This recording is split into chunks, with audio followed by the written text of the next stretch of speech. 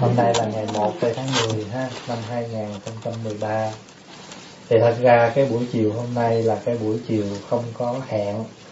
Thì à, Pháp Hòa nghĩ rằng à, sau khi đi thăm Đại Tùng Lâm về Thì thể theo lời mời của Phật tử tịnh tâm Thì à, ghé vào để dùng bữa cơm với cô. Nhưng không ngờ thì lại được duyên lành gặp lại quý vị một lần nữa thì à, thật sự ra thì đối với người tu thì lấy bốn phương làm nhà thì lấy à, tất cả mọi người à, trên cái thế gian này làm bà con quyến thuộc. Vì vậy cho nên chúng ta lại được gặp nhau trong mấy ngày qua trong cái tinh thần bồ đề quyến thuộc. Trước khi phóng hòa ra về à, xin được nhất tâm à, nguyện cầu tam bảo gia hộ cho toàn thể đại chúng cùng gia quyến, thân tâm được an lạc, sở nguyện được viên thành. Có điều pháp hòa rất là vui là qua đây thì pháp hòa thấy phật tử ở đây rất là tinh tấn, rất là siêng tu và có cái tâm rất là tha thiết với phật pháp.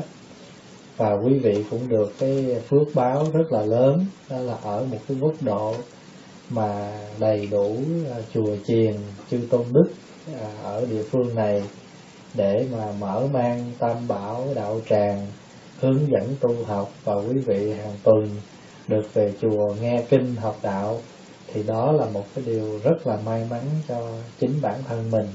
Vì vậy mong rằng đại chúng à, tiếp tục cố gắng dõng mãnh trên đường tu học. Hay như là Phật. Và ngày mai có và có về. Và thì không biết chừng nào chúng ta sẽ gặp lại dù chúng ta có gặp hay không qua cái hình tướng, nhưng chúng ta đã từng gặp nhau trong à, rất là nhiều đời kiếp. Mà nếu không có duyên trước thì đời này chúng ta cũng không được gặp như thế này. Và mong rằng chúng ta luôn luôn kết cái duyên lành này. A di đà phật. Yeah. Thì à, thưa đại chúng là ở trong phật giáo đó, thì chúng ta có cái à, cái danh từ là duyên là duyên có nghĩa là những cái điều kiện. Duyên có nghĩa là điều kiện. Thí dụ như bây giờ mình làm một cái um, mình làm một món bánh rồi mình cho bột là một cái nhân nước là nhân rồi muối đường à, nước cốt dừa là nhân thì nhiều cái nhân đó nó mới duyên với nhau để nó thành ra cái miếng bột mềm dẻo để mình làm chè nhưng mà nếu cái duyên đó, cái bột đó, nó thiếu nước, tức là nó thiếu duyên thì cũng ra bột nhưng mà cái bột nó không có dẻo. Tức là muốn cho nó đầy đủ cái ngon ngọt, thì chúng ta phải tạo cái duyên cho đủ cho nó. Thì bây giờ trong Phật pháp, chúng ta thường nói cái chữ duyên thì mình hiểu duyên như thế nào theo đạo Phật? Duyên nghĩa là điều kiện vậy thì khi đủ điều kiện thì nó có mặt. Và cũng đủ điều kiện để nó tan rã. Ví dụ bây giờ phó Hòa cầm cái ly này, thì phó Hòa rớt xuống đất. Thì cái duyên là vì mình cầm không vững, không chắc, cho nên nó rớt cái ly xuống. Rồi bây giờ ở dưới này á, lại là tấm thảm. Cho nên nó không đủ cái duyên để làm cho cái ly này nó bể nhưng nếu mà ở dưới này là một miếng gạch thì rớt cái ly xuống bởi vì ly làm bằng sành bằng đất. Ở dưới này là cũng là gạch cho nên nó đủ cái duyên để làm cho cái ly này nó bể ra. Như vậy thì duyên của nhà Phật nói là điều kiện. Mà có những điều kiện đủ để nó hình thành mà cũng có những điều kiện đủ để nó tan rã vì vậy thì chúng ta hiểu cái duyên là điều kiện. Vậy thì trong cái điều kiện này, trong cái duyên này, nó có duyên lành hay là duyên không lành? Và chúng ta gọi là thiện duyên hay là ác duyên? Nếu chúng ta gặp nhau mà chúng ta làm luôn luôn có những cái hạnh phúc, những cái an hòa, những cái thuận lợi cho nhau, thì đó là duyên lành. Mà nếu chúng ta gặp nhau mà chúng ta hất hủi nhau ghét bỏ nhau thì chúng ta là cái duyên xấu cái duyên ác. Nhưng nhớ là đời này gặp nhau mà không thương được nhau ghét nhau đó là cái nhân của đời trước cái duyên của đời trước không làm, cho nên lất lây tới đời này. Nhưng nếu mà mình là người học Phật á mà mình thuận theo cái duyên ác đó thì mình sẽ gặp nhau nữa. Tức là ác nó tăng trưởng. Quý vị hiểu ý và nói vậy đó. Thí dụ bây giờ ví dụ như là con của mình sanh ra, rồi nó ở chung với mình mình đi làm ngày 8 tiếng, rồi mình gửi nó cho một cái người giữ giữ trẻ. Thì cái người này á, hàng ngày nói chuyện ở nhà là chửi bậy, chửi thề. Cho nên nó là cái duyên để con mình nó học cái bậy. Bây giờ nếu mà nó về nhà đó, mà nó nói bậy, mà mình nghe, mà mình không có tìm cách mình chặn nó lại thì mình làm cho cái duyên đó nó tăng trưởng. vậy thì quý vị nhớ tăng à, duyên á nó có tăng thượng duyên. Tăng thượng duyên là cái duyên nó làm cho cái xấu hoặc cái tốt đó nó tăng trưởng. Hiểu ý không? Nếu mà là gần người lành thì nó học cái lành mà mình luôn luôn mình support mình an ủi mình ủng hộ thì cái duyên lành nó tăng tăng trưởng thì nó cũng là tăng thượng duyên nhưng mà duyên lành. Còn nếu đứa nhỏ đó mà nó học nói bậy, mà mình vẫn tiếp tục mình cho nó ở đó, rồi cộng thêm về nhà, cha mẹ sống cũng nói cái kiểu đó nữa, thì nó là tăng tăng thượng duyên. Mà ở trong, ở chỗ cái trường, cái chỗ nó học á, nó bị người ta nói bậy 8 tiếng đồng hồ rồi. Về nhà gặp cha mẹ thêm mấy tiếng nói bậy nữa. Như vậy thì cái duyên học bậy của nó đó không bao giờ dừng học ở trong chỗ chỗ giữ trẻ rồi, về nhà bị cha mẹ nữa, thì cái đó gọi là đẳng vô gián duyên. Cũng là duyên, nhưng mà chẳng những tăng thượng duyên, mà còn đẳng vô gián duyên. Đẳng vô gián duyên là liên tục, không có dừng. Ví dụ bây giờ nó nửa ngày nó học bậy mà về nhà nó nửa ngày nó hấp thụ cái điều tốt thì cũng còn đỡ. Đằng này nửa ngày nó đã học cái xấu rồi mà về nhà nó còn bị nghe thêm những cái xấu bởi cha mẹ nữa, thì đẳng vô gián duyên vậy thì quý vị thấy duyên nó có mấy loại đó nha. Thấy không? Vô gian đẳng vô gián duyên và tăng thượng duyên. Và duyên thì nó có thiện duyên, nó có ác duyên. Rồi bây giờ chúng ta gặp nhau như thế này là thiện duyên. Đời này á, vợ chồng, con cái gặp nhau cũng là duyên nhưng mà cái duyên này á nó có móc chấu với cái chữ nợ cho gọi là duyên nợ. Mà rồi đã là nợ á thì phải trả. Mà trả thì trong khi trả đó, ít nhiều gì đó nó cũng gây cái nghiệp của cái trả. Bây giờ pháp hòa ví dụ mình á mình nợ một cái người chồng khó tánh ăn uống khó tánh bắt cái gì cũng phải tươi phải ấy thì trong vì mình nợ cho mình phải trả. Mà khi trả như vậy á, vì mình muốn chiều lòng cái người mình đang phục vụ mình trả nợ này nè, mình lại tạo nghiệp, tức là nghiệp sát sanh, nghiệp trộm cắp, nghiệp gì đó. Quý vị thấy không?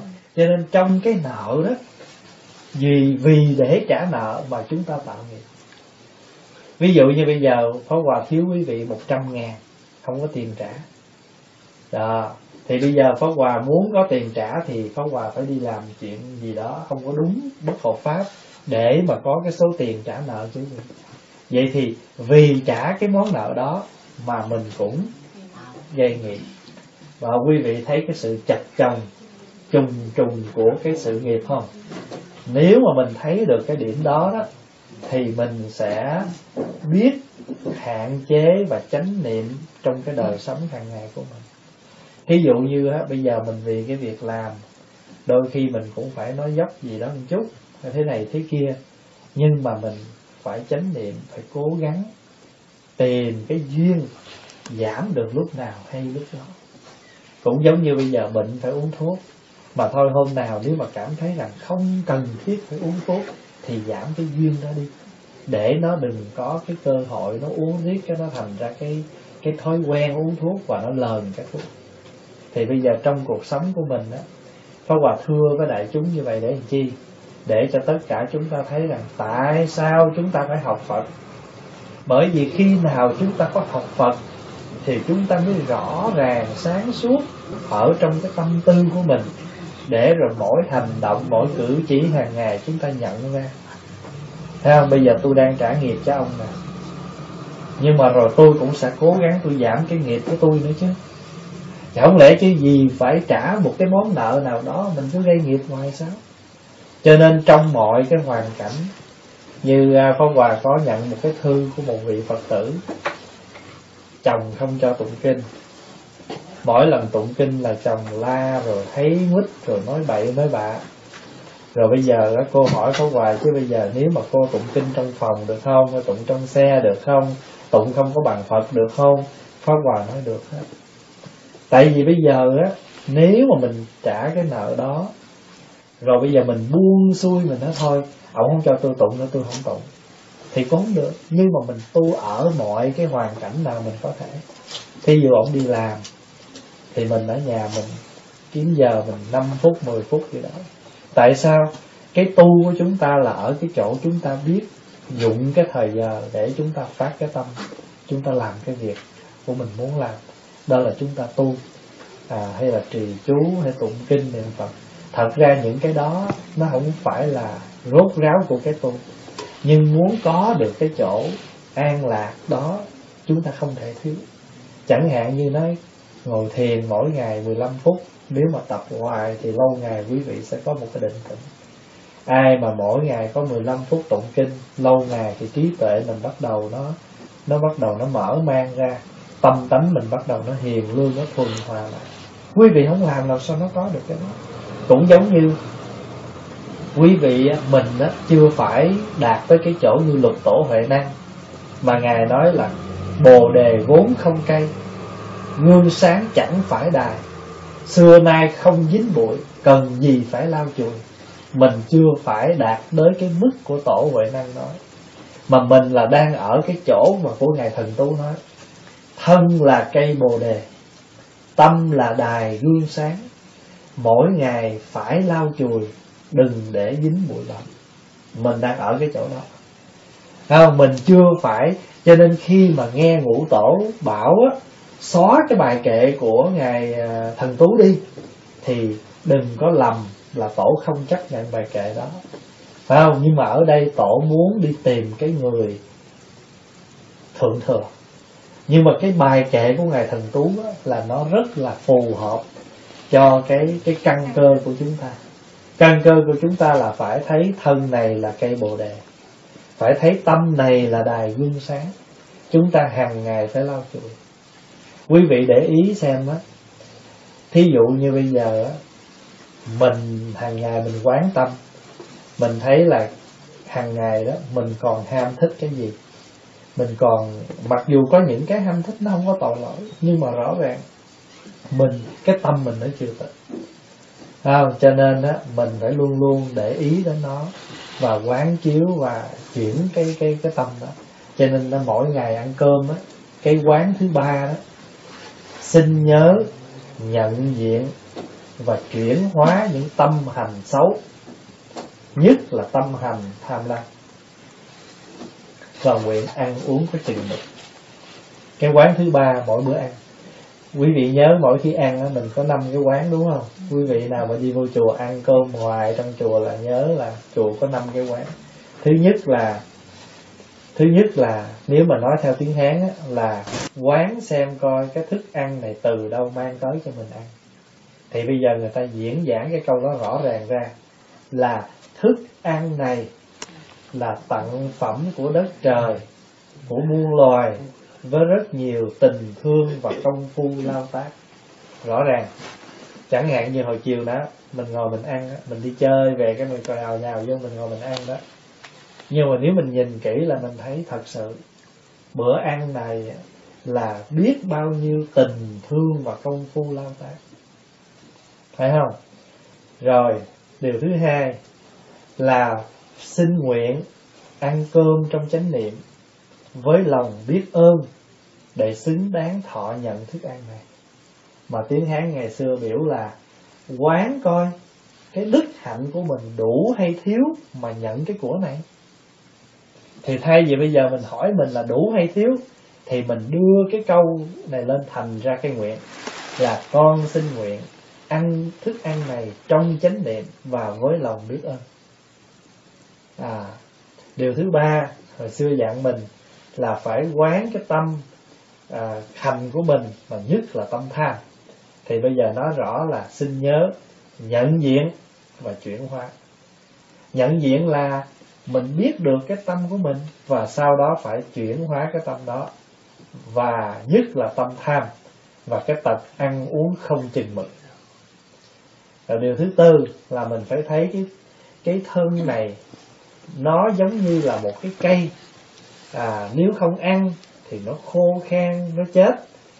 Mà phải ăn cho nên nó là mình phải ăn và phải thấy món ăn này như thuốc vậy đó để mà trị cái bệnh khô gầy thì bây giờ cái lời đó được viết rõ ràng ra là xin nguyện chỉ ăn những thức ăn để nuôi dưỡng lòng từ bi nuôi dưỡng cơ thể và để ngăn ngừa các tật bệnh và vì muốn thành tựu được đạo nghiệp đạo nghiệp của mình để làm gì? Để hộ đạo giúp đời xây dựng tình huynh đệ mà thọ nhận thức ăn này. Đó, thí dụ như bây giờ á ừ, có nhiều khi mình đi đâu mình tới nhà khách mình no quá chừng bây giờ người ta có lòng người ta làm miếng bánh người ta đãi mình. Nhiều khi mình phải ăn phải không? Ăn vì để giữ cái tình có nhiều khi mình đâu có muốn ăn nhưng mà cái ăn đó là giữ cái tình. Cho nên trong nhà phật á, tại sao ở trong chùa của chúng ta, tới chùa là có ăn? Đâu phải mình đói mà mình đi tới chùa mình kiếm ăn. Nhưng mà cái đó là cái ý nghĩa tượng trưng cho hai cái ý. Một á, là nhà chùa luôn luôn nuôi thân mình, mà nuôi luôn cả tâm của mình. Nuôi thân là nấu chay cho mình ăn nuôi tâm là giảng dạy Phật pháp. Cho nên là mỗi lần mình tới chùa là thân tâm được nuôi dưỡng. Ý thứ hai là đây là truyền thống. Phải không? Mình xây dựng tình huynh đệ. Quý vị để ý trong trong dân tộc Việt Nam mình thể chết rồi mà tới mỗi năm thì kêu ăn dỗ. Mới sanh ra được tháng là ăn đầy tháng được năm là ăn thôi nôi rồi mỗi năm thì ăn sinh nhật ăn không. Vì cái ăn đó không phải là mình đói nhưng mà chính cái ăn nó tạo nên một cái không khí vui vẻ à, dễ mến rồi dễ gần dễ khơi chuyện dễ chuyện trò. Cho nên ví dụ như người ta bất hòa với nhau người ta muốn giải hòa thì cũng làm bữa ăn làm bữa ăn ngắn ăn ít ăn nhiều gì đó đơn giản hay gì đó nhưng mà cái bữa ăn đó nó làm cho cái cái đạo tình nó gắn bó. Ví dụ anh em huynh đệ gặp nhau ngồi lại với nhau thì làm gì? Chăm trà uống lấy bánh ra ăn. Thì tất cả đều biểu lộ cái sự à, à, gần gũi. Mà cái câu nói của Việt Nam rất gần với chúng ta đó là có thực mới vượt được đạo. Vì vậy cho nên trước khi nói gì nói rồi ăn cái này phải không? Cho nên quý vị thấy không ở chiều ở chiều cúng cô hồn á chưa cúng cô hồn á, là cho cô hồn ăn cái gì? Nhưng mà trước khi cô hồn ăn á, tụng cho cô hồn nghe. À cô hồn có biết không? Các vị là những người vô thủy tham sân si, từ thân miệng ý phát sanh ra. Hôm nay cô hồn xin sám hối. Cô hồn ơi, bây giờ cô hồn về đây quy phật, quy pháp, quy tăng. Cô hồn có biết không? Quy phật là đấng phước trí vẹn toàn, gọi là lưỡng túc tôn quy pháp là đạo thoát ly tham dục gọi là ly dục tôn. Quy tăng là những bậc tu hành thanh tịnh gọi là chúng trung tôn. Thưa cô hồn đã quy phật rồi. Quy cô cô hồn quy viên mãn pháp rồi cho nên gọi là quy phật cánh. Chữ cánh là cứu cánh quy y phật nếu mà đúng ra phải tụng là quy y phật cứu cánh quy y pháp cứu cánh quy tăng cứu cánh. Nhưng bởi vì cái văn bản của bài tụng trên mới đọc là à, quy phật cánh quy pháp cánh quy tăng cánh. Chứ nếu đúng đọc đủ đầy đó là phải đọc là quy y phật cứu cánh quy pháp cứu cánh. Cứu cánh đó là viên mãn là rốt ráo là tròn đủ. Mà bây giờ chúng ta dịch là quy phật rồi quy pháp rồi quy tăng rồi. À, đại khái là vậy đó. rồi mình mới nói cho cô hồn nghe. À, cô hồn ăn cái món ăn này nè rồi nhớ là phải bỏ cái sang tham nguyện cho các vị đều no đủ. Cho nguyện giai bảo mãn, xả sang tham. Khi mà các vị được no đủ, bỏ cái sang tham rồi, thì chắc chắn quý vị sẽ sớm thoát u minh, sanh về tịnh độ, chứ gọi là ốc thoát u minh, sanh tịnh độ. Nhớ nha, chỉ cần quy y tam bảo phát bồ đề, thì cứu cánh, tức là rốt ráo trước sau, sẽ đắc thành được cái đạo vô thượng công đức đi về cõi vị lai.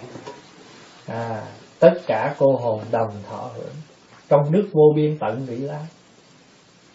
Nhất thiết cô hồn đồng đồng pháp thực. Ừ. thì đó là cái điều các bà muốn nói. Người kế đến đó là đời này vợ chồng mình á, có cái duyên rồi. Thì bây giờ á nếu mà mình đã có phát cái tâm tu rồi thì mình sẽ đưa cái tình cảm vợ chồng mình nâng thêm bậc nữa. Tức là phát nguyện sao? Kết bồ đề quyến thuộc. Ví dụ như hai vợ chồng mà cùng đồng lòng tu hành với nhau rồi, thì thôi bây giờ tôi với bà, tôi với ông, mình đã hiểu đạo rồi, thôi bây giờ mình kết làm bồ đề quyến thuộc. Đời sau có gặp nhau thì không có phải là những cái tình yêu nam nữ bình thường nữa, mà chúng ta biết đưa cái tình thương này nó đến cái chỗ cao hơn ở như trong cái bài hồi hướng chúng ta nói đó làm bồ tát bất thối là bạn lành gọi là bất thối bồ tát vi bạn lành à, chữ vi là làm á tất cả các vị bồ tát không lui sụp là bạn lành của ta làm những người bạn lành của với nhà. À, thì Pháp Hòa muốn cho nên hồi nãy Pháp Hòa có thưa với đại chúng là chúng ta đang là những người sao? Bồ đề quyến thuộc. Cho nên tổ quy sơn ngài với nguyện nguyện thế thế sanh sanh thế thế đồng vi pháp lễ đó là nguyện đời đời kiếp kiếp. Mình đều là những người bạn lành à, với nhau. À, đó là cái à, cái ý hướng mà à, chư tổ à, muốn hướng dẫn chúng ta. Không có điều sai quấy nếu chúng ta có yêu một người nào đó. Đó là chuyện rất bình thường trong cuộc đời này. Nhưng mà cái phước của chúng ta có được á, là chúng ta không yêu ở cái tình yêu sao? Những cái tình yêu trần tục mà biết pha Phật pháp ở trong cái tình yêu đó thì nó sẽ khác ví dụ như có những à, Phật tử do đi chùa rồi cái quen với nhau, quen với nhau rồi đưa ra những cái à, những cái à, những cái ý niệm là mình làm bạn với nhau nên làm bạn lành trong Phật pháp yeah. Rồi có những người là họ À, cũng là vợ chồng nhưng mà họ cùng tu. Cho cái đó là cái tốt. Cho nên tại sao bây giờ gần đây là rất nhiều những cặp phật tử đi về chùa làm lễ? Thì khi mình đi về chùa rồi thì được quý thầy nhắc nhở à, và mình luôn luôn tâm niệm rằng cái đám cưới của mình không phải là bình thường. Mình được sự chứng minh của tam bảo cho cố gắng mình sống và mình tu theo những cái gì mà Phật dạy. Cho nên nó rất là hay. Dạ. yeah chúng ta gọi là lễ hàng thuận. À, hàng thuận tức là mình tùy thuận theo cái thế gian pháp nhưng mà chúng ta luôn luôn đem cái Phật pháp pha vào trong đó cho nên là hàng thuận. À, thuận nhưng mà hàng tu à, chứ là hàng thuận. Chữ hàng thuận dữ à, chúng ta thuận theo thế gian nhưng mà thường thường phải lo tu. Cho là hàng thuận à, thì Pháp Hòa có ờ, vài lời chia sẻ trước với đại chúng vậy. Ngoài ra quý vị nào có à, câu hỏi gì thì có thể nêu lên để chúng ta cùng học hỏi với nhau. Tức là một khi chúng ta quy y ngày hôm qua Pháp Hòa có nói đó quy y tượng Phật mình lại Phật mình nói con quy y Phật thì hay là con nương tựa Pháp con nương tựa Tăng quý thầy đó là cái thế gian. Nhưng mà một khi á chúng ta nhận ra ở nơi tự tánh mình á, có khả năng sống giác ngộ như Phật cho nên gọi là quy y giác. Hiểu ý không? Quy tăng đó là tự nơi tâm của mình có khả năng sống từ bi trí tuệ như Phật cho nên gọi là quy y chánh. Quy tăng là tự nơi này chúng ta có khả năng sống hòa hợp với tất cả mọi người vì vậy cho nên á, mỗi ngày chúng ta đều tự quy Phật. Cho nên mỗi thời kinh xong là đều tụng tự quy Phật. Tự quy pháp tự quy tăng mà không không không có tụng quy Phật quy pháp. Thấy không? Như vậy thì cái cuối cùng mà chúng ta muốn nói vẫn là phải trở về với cái tự tánh tam bảo của mình là Phật Pháp Tăng ở trong người của mình. Mình có khả năng sống giác ngộ như Phật mình có khả năng sống từ bi trí tuệ như Phật. Mình có khả năng sống hòa hợp như chư Phật. Vì vậy mà, vì vậy mà khi mà chúng ta quy y rồi, thì mỗi bữa tụng kinh xong là chúng ta tụng tự quy y Phật. Con tự quy y Đức Phật ở trong con. Con tự quy y giáo pháp trong con. Con tự quy y sự thanh tịnh ở nơi con cho nên lục tổ định nghĩa là vậy đó.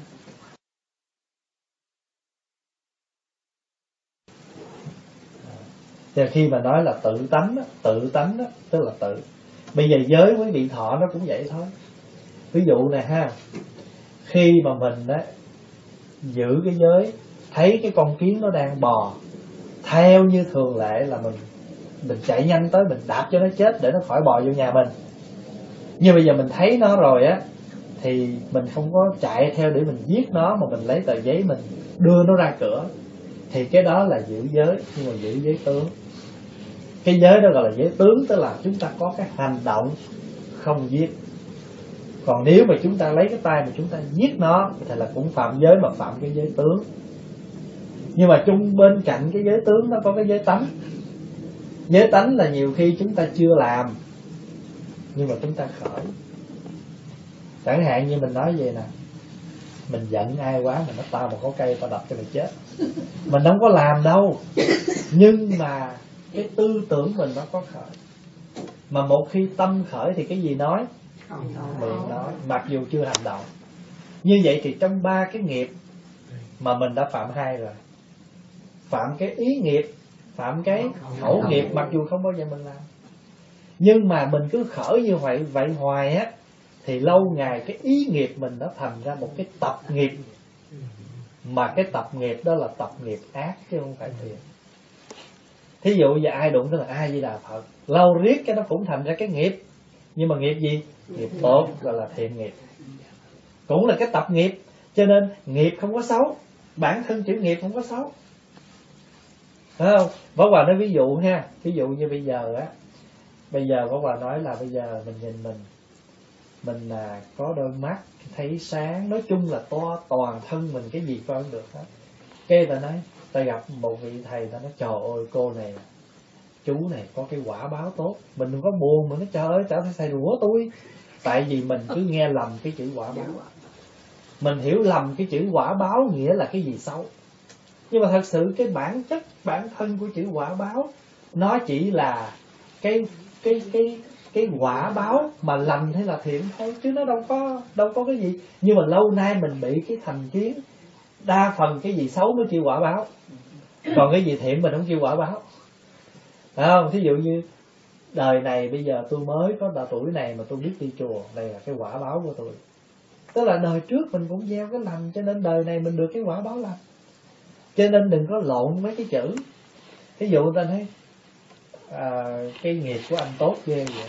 Cũng không có buồn. Nó tại sao anh nói tôi nghiệp? Chữ nghiệp nghĩa là những cái gì chúng ta làm thành thói quen và huân tập. Thì bây giờ chúng ta cố gắng huân tập cái nghiệp lành nhiều hơn là huân tập cái nghiệp ác. Thí dụ như cho nên trong cái giới thứ nhất lúc mà mình thọ giới ta nói rất là rõ. Ý thức được khổ đau do sự sát hại gây ra. Con xin học ta hạnh từ bi không giết người hại vật. Dù là trong tâm tưởng hay trong cách sống hàng ngày của con. Cái suy nghĩ cũng không khởi tại vì lâu ngày nó thành cái nghiệp của ý. Đó như cái cái câu hồi nãy và ví dụ mà đa phần là mình bực lên là mình nói vậy đó. Không, tao có cây tao đập mày tao biết mày hồi nhỏ mày lớn lên bất hiếu hồi nhỏ tao bóp cổ mày chết tao tao bóp mũi mày chết thường thường hồi nhỏ mà hay nghe vậy tao mà biết mày lớn lên mày bất hiếu thì tao bóp mũi mày chết hồi nhỏ mình nói như vậy á, nó bắt cái khẩu nghiệp của mình mà nó gieo một cái tâm niệm không lành ở trong đứa con. Như vậy là đứa con nó luôn luôn nó nghĩ mẹ không có thương mình. Mặc dù mình nói mình không có cái ý ác, nhưng mà nói là mình nói không có ý ác, chứ nếu không có cái giống như là cái cái giây phút mà bực bội đó, nó là cái giây phút khiến mình nói ác. Mặc dù hàng ngày mình không nuôi cái tâm niệm ác đó, nhưng mà cái sân đó đó cái sân đó nó đậm ví dụ như bình thường cái nồi nước nó sôi vậy nè tự nhiên vậy mình bật một cái lửa lên cho nó khét khét ngay chỗ đó vậy đó. Nó khét ngay cái giây phút đó cho nên nó một cái giây phút sân đó đó một cái khoảng sát ra sân đó nó làm cho cái lửa phật lên cái cái nhớ trật xuống. Nhưng mà một lần phật lên vậy là có thể nó nám mà nó nó nó nó, nó khét cái gì đó rồi. Vậy cho nên là mình cho nên á, nhiều khi á, mình trừ được cái khô nhưng mà cái tế thì mình rất là khó.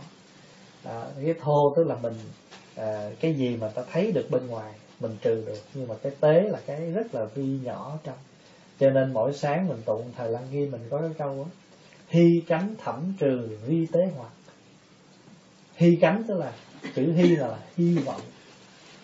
Cánh này là tận cùng. Trừ được cái lỗi lầm vi tế theo cái câu đó đó. Đó là con rất là mong muốn con rất là mong mỏi con có thể trừ sạch những cái lỗi lầm nhỏ nhất chữ chữ cánh đây là tận cùng rốt ráo sạch sẽ những cái lỗi lầm nhỏ nhất. Thì cái câu mình nguyện là như vậy. Ừ. Cho nên mỗi ngày là cái tập nghiệp của mình. Thì um, nghe cái chữ nghiệp cũng không có gì mà phải lo vì chữ nghiệp bản thân đó là cái thói quen thôi. Nghe cái chữ quả báo cũng không có gì lo thì con người mình đó mỗi con người mình là có ba thân. Phật có ba thân, mình cũng có ba thân. Thứ nhất đó là báo thân. Thứ hai là ứng thân. Thứ ba là pháp thân. Phật có ba thân, mình cũng có ba thân. Bây giờ thế nào là thân báo báo thân? Chữ báo thân là cái thân quả báo thí dụ như đời này lùng là đời trước khinh khi người khác cho nên đời này cái quả báo thân tướng mình nhỏ. Rồi thí dụ như đời này á, cái quả báo của mình là không có thông minh hay quên hay là không ai chỉ dẫn cho mình gì hết là đời trước mình ngăn che người ta. Ai hỏi gì mình cũng không chỉ. À, mình mình bế tắc cho được học hành của người ta. Hay là đời này á nghĩa là mình à, sắp sửa cái cái cái làm ăn nó nó sắp tới tay rồi tự nhiên ta hủy bỏ cái hợp đồng ta làm. Lúc nào mình làm ăn cũng thất bại. Đó là đời trước mình hay phá hoại những cái công ăn việc làm của người khác. Ví dụ vậy đó. Thì vậy thì đời này á mình mắc một cái quả báo ở trên thân thể này. Do chúng ta tạo những cái nhân cho nên đời này mình có một cái thân là thân quả báo. Bây giờ mình nhìn ví dụ như á, tại sao cũng cùng chị em với nhau mà chị mình trắng hơn mình mình đen thui? Hay là người kia đẹp hơn mình mình không có đều là có cái do thì cái thân mình đang có gọi là thân quả báo chứ gọi là báo thân. À thì trong cái báo thân này nè cái báo thân này nè mình có thể ứng dụng nó linh động. Chẳng hạn như là à, người ta nhờ mình nấu ăn mình nấu được. Mà lát nữa ta nhờ mình sơn nhà mình cũng sơn được cho là mình ứng thân bằng mọi hình thức qua cái báo thân này. Đó như bây giờ pháp hòa pháp hòa đến đây dụng cái báo thân này bệnh tật hay là xấu ờ, ốm gì đó qua đây lấy cái báo thân này ứng thân ở đây để làm cái công việc. Sáng ngày mai là không còn ứng thân ở đây nữa. Thì ứng thân ở Edmonton. Thí dụ vậy. Rồi sáng giờ á, là có một nhóm người ứng thân ở Đại Tùng Lâm. Có một số người ứng thân ở nhà này để nấu ăn. Như vậy thì cái báo thân này thì ai cũng phải có và tất cả chúng ta cũng đang dụng cái báo thân này để làm cái việc ứng thân ví dụ bây giờ quý vị ngồi đây, nhà cô tịnh tâm mình là khách, thì mình là ứng thân làm khách. Khi mình về tới nhà mình thì mình ứng thân làm làm chủ. Rồi mình gặp con mình thì mình ứng thân làm mẹ. Mình gặp chồng mình mình ứng thân làm vợ. Vậy thì trong một ngày này, chúng ta vẫn vận dụng cái ứng thân này qua cái báo thân này nhưng mà dù mình ứng thân kiểu nào đi nữa, nhưng mà tâm mình không có khổ. Cho nên mình có pháp thân. Pháp thân là cái thân đạo pháp, cái thân phật pháp đang ở trong người mình. Hồi xưa khổ lắm mà. Hồi xưa cũng làm, nhưng mà làm khổ lắm. Làm bực bội, làm khổ. Bây giờ vẫn làm mà sao thấy không có khổ. Mà khi không khổ là gì vậy? Trong người mình nó có cái pháp pháp thân. Mà cái pháp thân này có ai thấy không? À, cho nên pháp thân bất biến. Mà chính bất biến cho nên nó biến khắp pháp giới hết cho nên gọi là tỳ lô giá na. Cái chữ tỳ lô giá na nghĩa là nghĩa là biến khắp mọi phương. Cái chữ tỳ lô giá na cho nên mình mới niệm á cúng dường thanh tịnh pháp thân tỳ lô giá na. Biến nhất thiết xứ. Chữ uh, chữ tỳ lô giá na dịch là biến nhất thiết xứ và chính biến vì sao có có thể biến nhất thiết xứ biến tất cả chỗ được? Tại vì mình có có cái pháp thân. Vậy thì bây giờ quý vị thấy mình có mình có pháp thân không?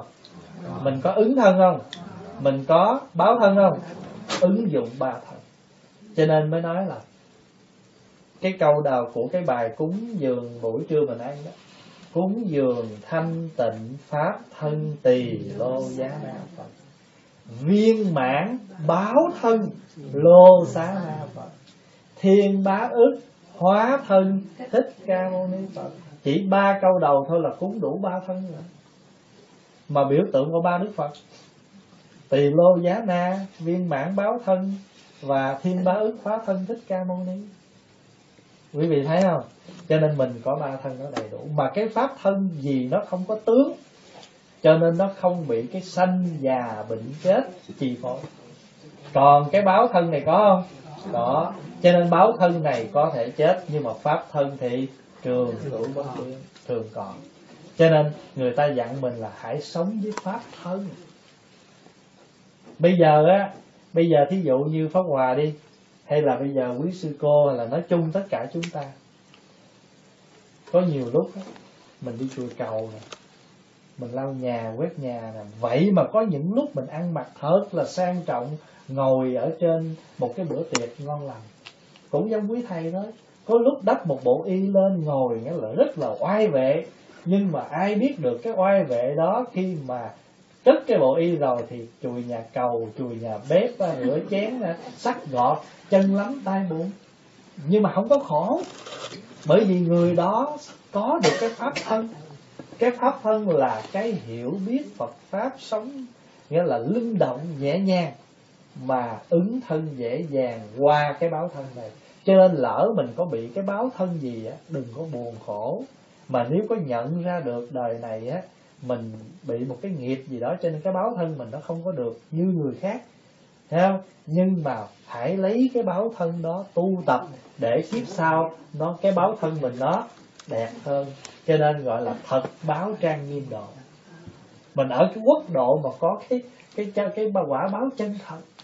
Cho nên mình nhìn thân tướng của đức phật á, thì mình khen là thân tướng của đức phật tướng hảo.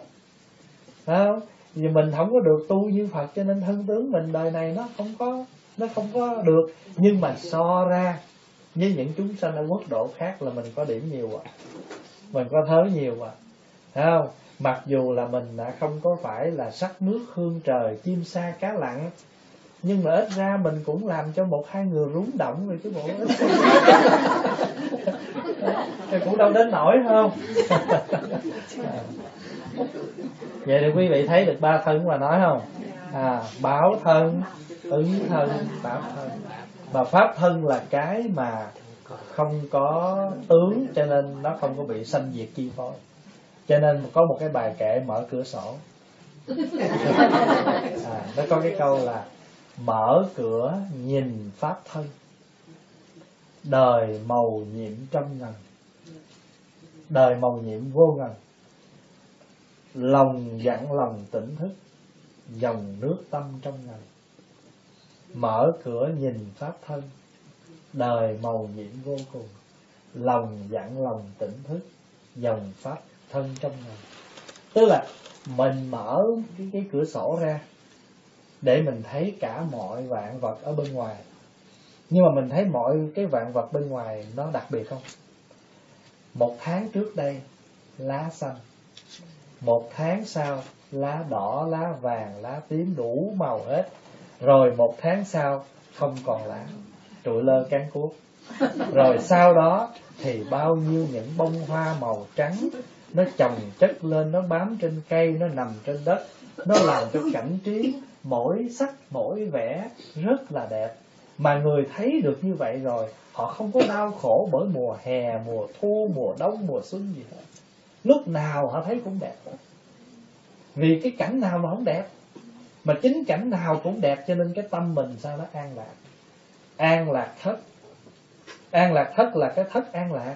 Cái chỗ ở an lạc mà chỗ ở an lạc á, là không có bao giờ complain à. Mùa nào cũng an lạc. Mùa nào cũng an lạc, tại vì người có an lạc. Nội tâm có an lạc, cho nên mùa đông, mùa xuân, mùa thu, mùa hè gì cũng an lạc. Đó là lý do tại sao cái đại hồng chung chúng ta xây bốn chiều ở cái đại hồng chung nó có bốn cái cục để mình dọn vô đó. Ở dưới đó ghi xuân, hạ, thu, đông mỗi một mùa chúng ta xây cái đại hồng chung một lần. Mùa xuân xây, mùa hè xây, mùa hạ xây. Thứ nhất là để nó quân bình cái chuông. Thứ hai là để nói lên rằng người có tỉnh thức bốn mùa an lạc. Cho nên mãn giác thiền sư ngày mới nói không? Xuân đi trăm hoa rụng xuân đến trăm hoa cười trước mắt việc đi mãi, trên đầu già đến rồi. Nhưng mà đừng bảo xuân tàn hoa rụng hết, đêm qua sân trước một cành mai thiền sư làm thơ có mấy câu thôi, mà chúng ta có thể giảng một ngày, một tháng, một năm và tu một đời với bốn mấy cái câu thơ đó. Cuộc đời này nè, thể mà đủ nhân duyên thời tiết thì hoa nó nở. Cũng đủ nhân duyên thời tiết để hoa nó rụng, có gì đâu, phải khổ. Phải không? Nhưng mà rồi thế giờ mình thấy lá nó rụng sạch rồi mùa đông nó là lạnh chết cây. Vậy mà đến tháng tư tháng năm năm sau những cái cây đó lá non mượt mà nó đâm chồi nảy lọc. Như vậy rõ ràng là màu nhiễm không? Màu nhiễm cho nên mở cửa nhìn pháp thôi đời màu nhiệm vô cùng. Vậy thì cái khổ mà chúng ta đang gánh đó, nó đâu có ở hoài đó đâu. Rồi nó sẽ hết khổ vui nó sẽ đến. Nhưng mà cũng đừng có đừng có bám cái vui. Cái vui nó cũng chẳng ở với mình hoài đâu. Rồi nó sẽ, sẽ ví dụ như bao nhiêu năm nay quý vị mong Pháp Hòa đến.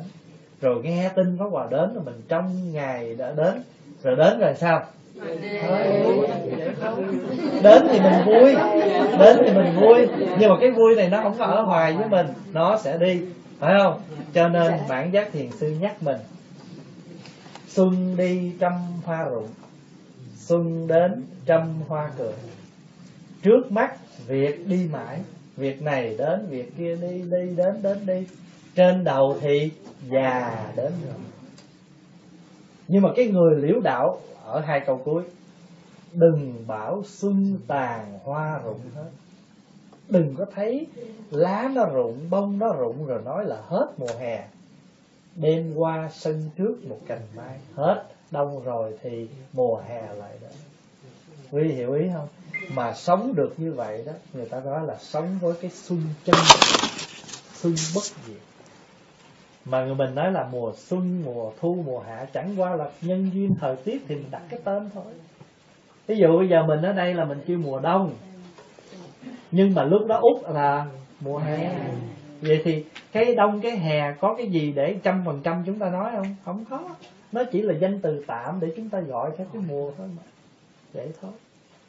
Đó, thí dụ như bây giờ nè, quý vị thấy á, cái chỗ này có hoàng ngồi nè, quý vị nhìn, quý vị tưởng cái bàn rồi tới hồi mà nhìn kỹ à thì ra là cái khăn không? Rồi về dở này ra chợ cái này là cái hộp để giấy để tờ mà. Phải không? Nhưng mà ăn thua chúng ta biết cái gì? Biết cách dụng nó. Cái khăn mà biết dụng thì trở thành ra khăn trải bàn. Có khi thì khăn đội đầu. Có khi thì khăn trải bàn. Cho nên quý vị biết tại sao tôn ngộ không có cái cây thiết bản không? À cái người có trí như tôn ngộ không mới đủ khả năng cầm cái thiết bản đó. Cây thiết bản nó nằm ở đâu? Nó nằm ở dưới địa ngục. Nhớ không? Nằm ở lâm cung. Chứ nó nằm ở lâm cung. Không ai dở cây thiết bản đó nổi. Chỉ có mình tôn ngộ không dở được thôi. Bởi vì cây thiết bản đó là tượng trưng cho cái trí tuệ tượng trưng cho sự sức mạnh kiên cường mà linh động. Cho nên muốn biến lớn thì nó lớn biến nhỏ thì nó nhỏ thậm chí nhỏ nhất nhét cái lỗ tai vẫn được. Người có trí mới đủ khả năng nhổ cây thước cây cây cây cây sắt đó. Người có trí mới đủ kiên cường sống một cách linh động quyển chuyển tùy theo mọi cái cái cái cái lên xuống của cuộc đời. Mười năm trước mười mấy năm trước kinh tế tốt mình làm ăn được xài sang. Rồi bây giờ kinh tế nó xuống mình xài sọt. Vậy thôi. À, thì bây giờ cuộc đời mà ông bà mình dạy nè khéo ăn thì no khéo co thì ấm người đời của Việt Nam còn nói được câu đó huống chi là Phật tử mà chúng ta đã học được cái pháp tùy duyên bất biến. Đời này nó có lên xuống à, giàu nghèo thế nào đó nhưng mà do chúng ta biết linh động. Có 10 đồng à mà biết sử dụng 10 đồng đó 10 đồng đó vẫn đủ. Người có trăm đồng mà không biết sử dụng trăm đồng cũng như một đồng. À, cho nên quan trọng là chúng ta có cái thiết bản. Không? Thiết bản là tượng trưng cho cái ý chí của mình. Và cái ý chí này nó rất là linh động nó quyển chuyển cho nên nó biến nhỏ biến ngắn biến dài gì cũng được hết. Mà ai mới sử dụng nó nói? Tôn ngộ không tôn ngộ không là người có trí. Được chưa?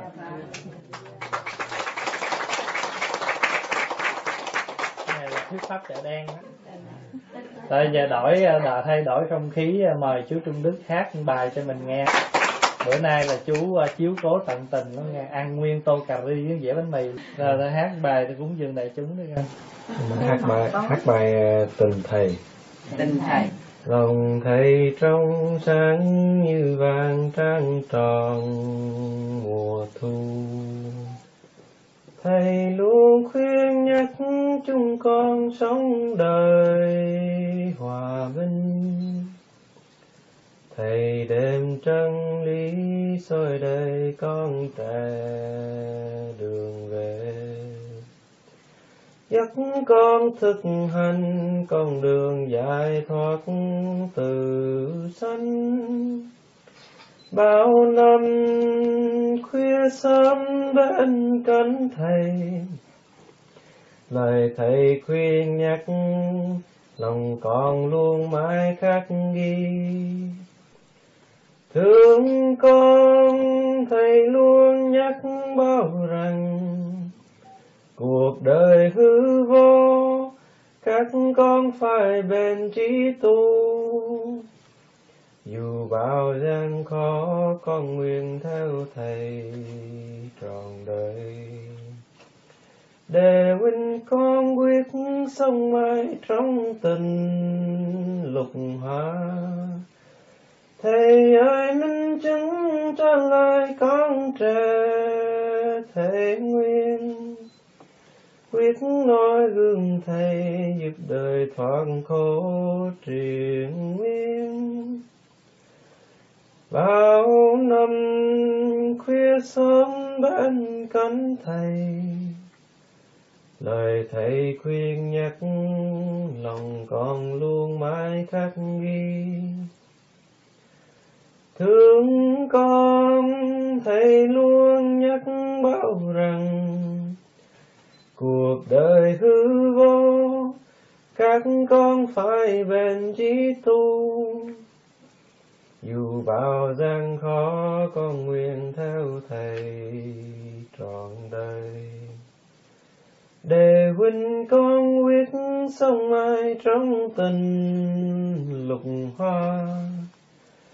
Thầy ơi, minh chứng trả lời con trẻ thế nguyên quyết nói dương thầy giúp đời thoát khổ triền miên.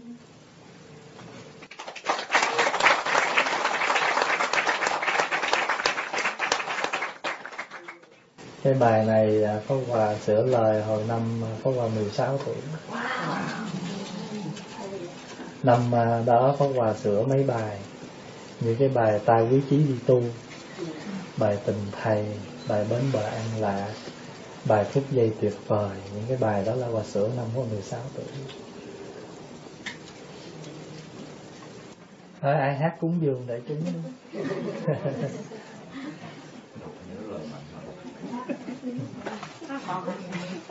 Rồi các ai hỏi gì nữa không? Giới thiệu.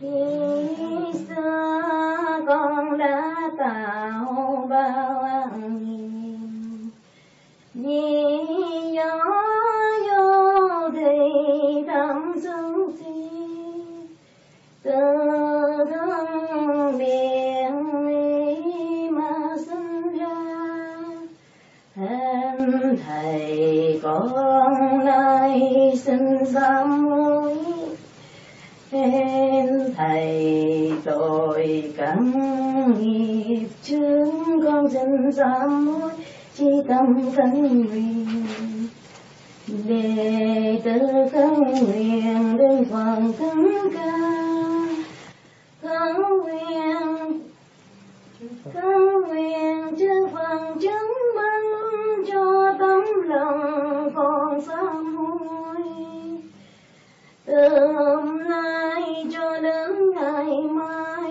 và mai cho đến đời sau không bao giờ con tao lỗi lầm. Nam mô a di đà phật. Nam mô bổn sư thích ca mâu ni phật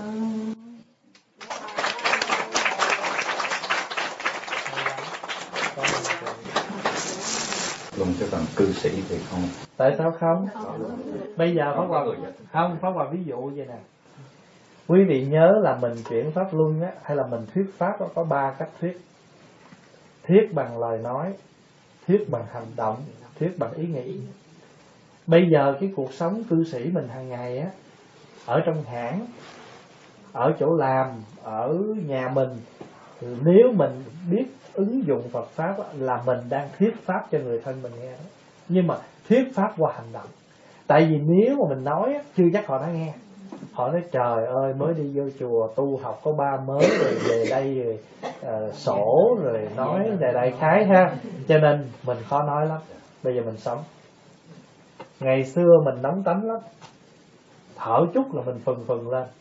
Thì bây giờ á một cái cái nhẹ nhàng cái cái dịu dàng của mình á, sẽ chứng minh rằng Phật pháp có lay chuyển mình vậy thì bây giờ mình muốn chuyển người khác á trước hết mình phải chuyển mình. Mình chuyển mình thì người ta thấy rằng Phật pháp khó chuyển cho mình cho nên người ta mới tin Phật pháp là cao xa màu nhiệm. Còn mình tu làm sao ta nói trời ơi tôi thấy cái ông đó tu tôi ớn quá. Ví dụ vậy tôi thấy cái bà đó tu tôi rầu quá ví dụ vậy đó. Hay là ta, có nhiều khi ta giận ta thấy đi chùa vậy đó hả? Trong chùa dạy chị dạy anh vậy đó hả? Có nhiều khi ta nói những câu nói vậy đó mình đi chùa, mình còn có những cái hành động. Cho nên, mình là cư sĩ hay là tu sĩ, mình đều có thể chuyển pháp hết á. Nhưng mà mình khéo léo thôi. Chẳng hạn như bây giờ mình ăn chay nè. Mình đi vô trong hãng á, thường ngày mình ngồi với năm, bảy người bạn ăn cơm chung. Ngày hôm đó mình dở hộp cơm ra mình ăn, cũng không cần phải khoe và cũng không cần phải nói chị chị chị ngồi xích xích ra để nước mắm nó văng vào tôi mình làm giống như là mình tu thiệt lắm vậy đó biết không? Thì người ta thấy cái cách của như vậy thôi là người ta phát ghét rồi. Phải không? Cứ ăn cơm bình thường cứ dở hộp cơm ra ăn và không cần phải nói trừ khi nào nó nói bữa nay ăn cái gì vậy? Nó ồ đồ kho vậy thôi. Mà thậm chí mình biết cái người đó họ hay nói móc cũng đừng nói nó chạy lúc này tôi ngán thịt quá, bữa nay tôi kho rau đậu rồi tôi ăn. Cái người mà hay nói móc không hay nói xiên nói xéo mình á, mình đừng có bao giờ. Tại vì mình không làm cho người ta tăng được tư tưởng thiện, nói được lời thiện thì mình cũng đừng làm cho họ tạo thêm cái lời nói và suy nghĩ. Cho nên mình tùy cái chúng sanh mà mình đối diện. Cho nên cái câu thứ chín mà của ngài phổ hiền bồ tát nguyện làm sao? Cửu giả hàng thuận chúng sanh. Mà hàng thuận á, không có nghĩa là họ biểu mình gì mình làm đấy. Hàng thuận là phải thuận theo cái tốt mình mới thuận. Thí dụ như bây giờ con mình á nó về nó nói ba ba à, à, ba cho con xin à, 10 đồng tại con giúp cho bạn con. Thì, thì cái đó nó khởi cái tâm lành mình thuận nó được còn đằng này nói, ba ba, con định mua cây thuốc lá con hút mà con không đủ tiền, ba phụ con. Ví dụ vậy, không thể thuận cái đó được. Cho nên cái chữ cửu giả hàng thuận chúng sanh đó, không có nghĩa là ai biểu gì mình thuận đấy. Chỉ thuận cái lành thôi. Ví dụ như chiều chủ nhật ở chùa hết đồ chay rồi rồi phật tử mới gọi lên nói, thầy thầy trên chùa còn đồ chay không? Pháp hòa biết hết mà pháp hòa vẫn nói còn. Tại vì mình nghe người ta muốn ăn chay là mình mừng rồi bây giờ mình nói hết cái làm ta tốn câu phở. Cho nên hòa nói còn, thì trong khi họ chạy lên chùa họ lấy là pháp hòa đi xuống bán hòa luộc thậm chí không có, pháp hòa nấu gì sơ sơ, hoặc kiếm cái gì người ta lên, thì người ta nói, ô, cái này tôi không có bán, chùa không có bán. Tại nghe chị, cô gì đó, ăn chay thì quý thầy muốn khuyến khích cho quý thầy cho. Mình thuận người ta. Mặc dù á, cái nào mình làm bán là bán còn có những cái món ăn ở trong chùa ăn hàng ngày tới vô người ta thích đó. không có bạn. Thích thì bút đem về phụ ăn. Chứ còn mình nghe người ta ăn là mình mừng rồi. Cho nên ở chùa không bao giờ mà ai gọi lên chùa mà nói còn đồ chay mở qua cho trả lời hết phải nói là còn. Người ta lên, người ta lấy rồi mình kiếm cái gì cho người ta cũng được. Nhưng mà khi người ta tới mình nói rõ, cái này không phải là đồ chùa bán. Ví dụ vậy đó. Này là chùa nấu ăn, nghe quý vị ăn chay, chùa để lại quý vị dùng vậy thôi. Quý vị hiểu ý không? Rồi thậm chí phật tử mà để dành thức ăn cho quý thầy cũng vậy. Có hòa dặn, luôn luôn phật tử đến, hết thức ăn lấy đồ ăn quý thầy ra đưa. Quý thầy ăn nước tương cũng được, hoặc thậm chí nấu một miếng mì ăn cái gì cũng được hết. Nhưng mà phật tử người đã đến chùa, phải để cho người ta no đủ. Không phải là người ta cần miếng ăn đó. Nhưng mà cái quan niệm phật tử về chùa thì trước lễ phật nghe kinh sau là được ăn một miếng cơm chùa lấy lọc. Cho nên lúc nào cũng phải làm cho người ta hoan hỷ. Thì mình hoan hỷ như vậy là tùy hỷ công đức mà hằng thuận chúng sanh.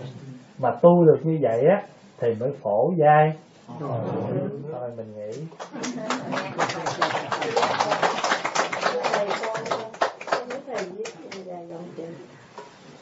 Và sau đó, chúng ta cũng sắp lưu niệm. Nếu mà quý sư cô và các bạn có có hoan hỷ thì xin dừng lại vài phút ký tên hay ghi ghi gì chút xíu gì để lưu niệm rồi để Trời ơi, này giống như guestbook cho biết cảm tưởng.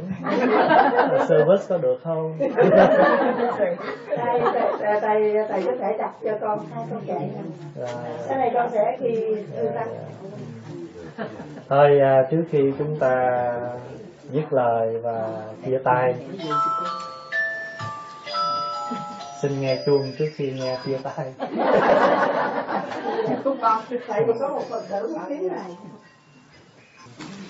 Thôi à, trước khi à, chúng ta chia tay một lần nữa à, trước hết là xin à, cảm ơn à, à, quý sư cô à, trong suốt mấy ngày qua đã à, hết lòng chăm sóc cho thầy trò pháp hòa và cũng như tạo nhiều duyên lành cho tất cả chúng ta được gặp mặt.